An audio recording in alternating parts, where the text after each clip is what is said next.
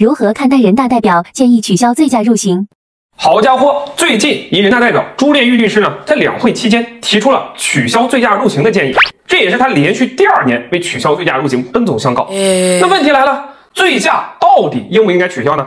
这位朱代表认为呢，对于那些喝醉了开车的，但是没有造成严重危害的，加大行政处罚力度就好了啊，比如加大罚款力度，使劲拘留，就可以达到喝酒不开车，开车不喝酒的目的。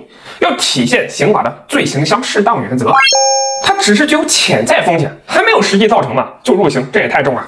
我个人认为呢，这位律师啊，可能是平常帮醉驾者代理的多了啊。你怎么又进去了啊？我个人呢是坚决反对取消的。首先，醉驾入刑已经十年之久，大家对于醉驾之害及其后果已形成较为统一的认识。刑法不仅是惩罚之剑，更是引导大家行动的指明灯。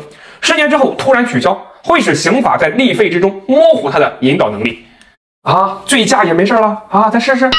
其次，仅具有潜在风险就入刑，是否过重呢？啊，我个人认为呢，对这种潜在风险入刑非常符合刑法的罪刑相适当原则。尽管仅仅是潜在风险，但根据相关研究表明呢，醉酒驾车的人极易存在手脚失控、远视、事物立体感发生误差、反应能力下降等问题，非常容易发生重大的交通事故。这样成都的孙伟明，醉酒无证驾驶造成四死一伤案。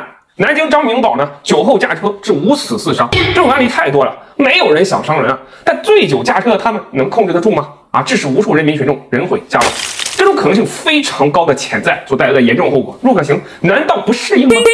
所有钱，妈，我是地球人，喝完酒，地球是我的。最后妈说什么加大罚款力度，拘留，妈罚款是吧？啊，给多少都给啊，咱有钱人，咱就不缺钱。那法律还会对他有警醒效果吗？没钱了呢，啊，不就进去待几天吗？啊，管吃管住，里面的人说话又好听，啊，出来继续啊，保不准下一次的重大交通事故就是他们。你们支持醉驾取消入刑？建议家庭主妇、家庭主夫成为合法职业。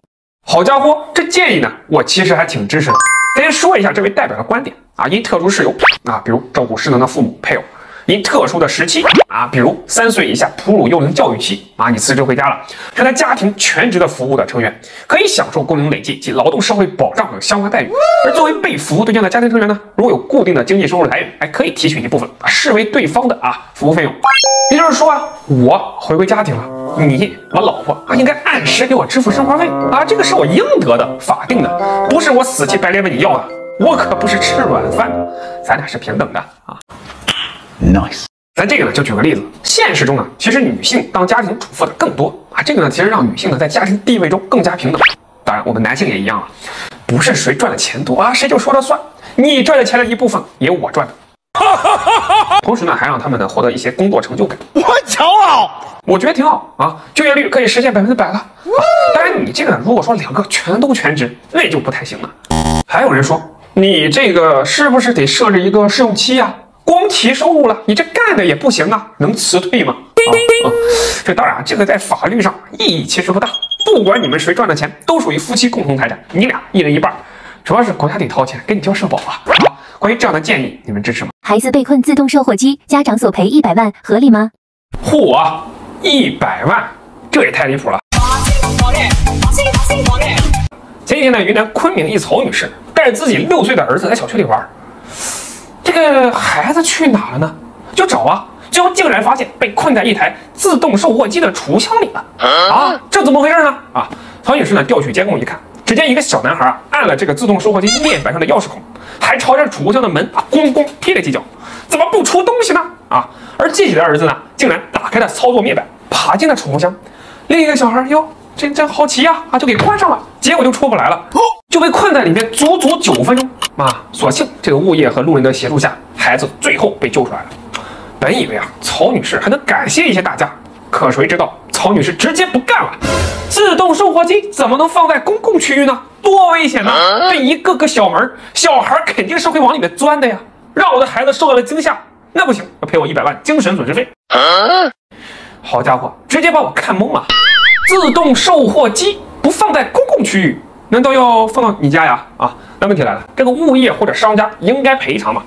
哎，那就要看了，这个自动售货机放在这个公共区域，与这个孩子钻进去受到惊吓是否有因果关系呢？首先啊，这个自动售货机本来就是有公共属性的，而人家放在这个公共区域肯定是没问题的。但确实应当设置一些安全提醒或防范措施。但主要的责任还是你这监护人啊！六岁的孩子出去玩，你不应该看好吗？还要人家赔一百万，这真的是想多了。我不得不说，当父母真的需要资格证，那持证上岗。如果每一次出事情不去反省自己，反而想着转嫁矛盾，用索赔这种方式来自我宽慰，简直就是自欺欺人。对于这件事，你们觉得到底是谁的责任？